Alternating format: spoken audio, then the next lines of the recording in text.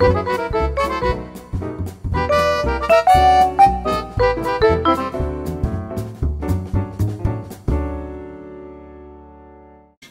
and welcome to the newest episode of The Great Wendi Way. I will be bringing you this week's top Broadway news as well as this week's newest Broadway openings. Glee star Cory Monteith announced on Monday, April 1st, that he was checking himself into rehab due to substance abuse.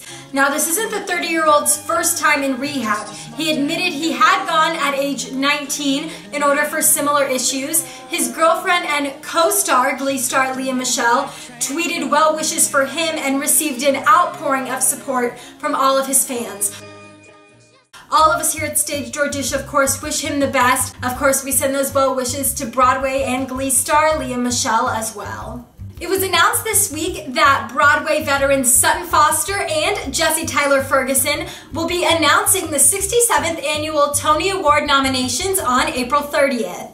Now, Sutton is no stranger to the Tony Award. She has actually won two. In 2002, she won her first Tony Award for Best Actress in Thoroughly Modern Millie, and in 2011, she won her second for playing Reno Sweeney in Anything Goes. Jesse Tyler Ferguson is most well known for his role on Modern Family, but he is no stranger to the stage either. He has performed in both the 25th annual Putnam County Spelling Bee and On the Town, among several others. The Tony Awards are scheduled for June 9th at Radio City Music Hall in New York City, and any Broadway show that has an opening before April 25th is eligible.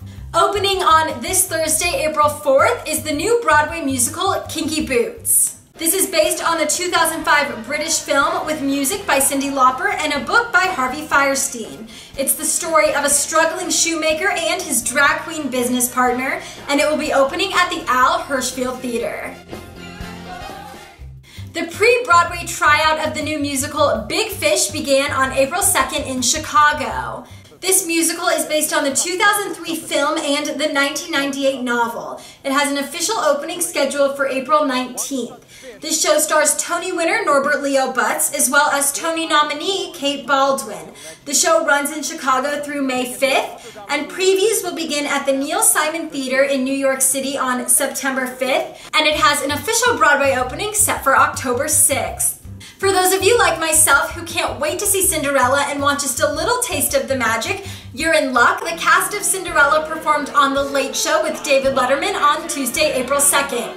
As usual, Laura Osnes posted wonderful pictures of the rehearsal experience. Of course, you can catch that video as well as her tweets on YouTube and on Twitter.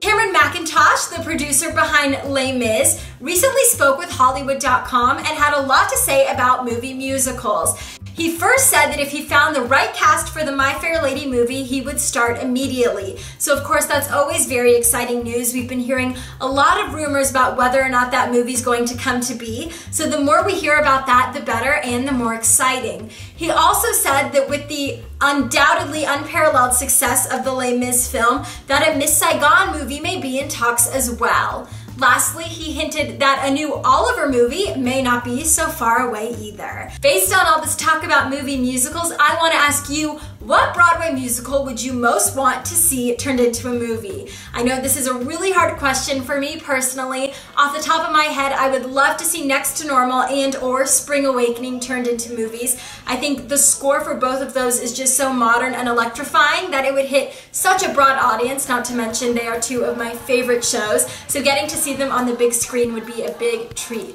Let me know in the comments what Broadway musical you most want to see on the big screen.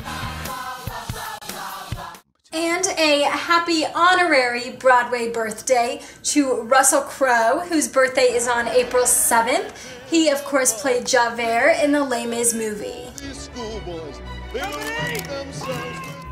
Thanks so much for watching this episode of The Great Wendi Way, and I will see you guys back here next week.